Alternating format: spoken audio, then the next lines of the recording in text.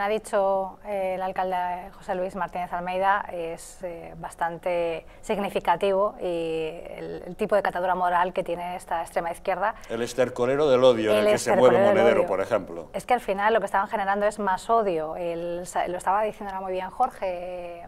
Bueno, pues en vez de centrarse en lo evidente que es eh, han sido, se han arrestado ya a tres personas de entre 20 y 25 años y pensar eh, qué estamos haciendo en nuestra sociedad en la educación de nuestros jóvenes para que sean capaces de cometer tal atrocidad eh, y en vez de eso pues estemos señalando a José Luis, eh, a Isabel Díaz Ayuso y politizando un hecho que no sabemos si es homófobo o no lo es. Parece que los tres detenidos no conocían siquiera a Samuel, por lo tanto parece que no ha sido esa la intencionalidad ni el crimen, que ya se dirimirá en los juzgados.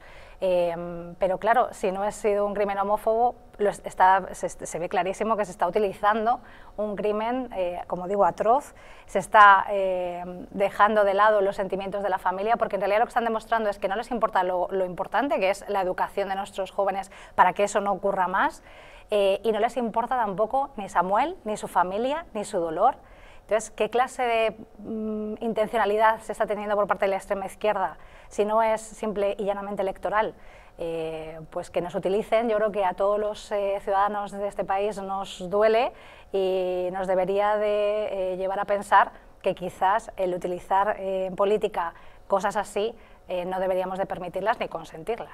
Abogado Fanego, una vez más estamos ante que determinados grupos capitalizan cuestiones antes de que conozcamos las conclusiones de la policía, las investigaciones.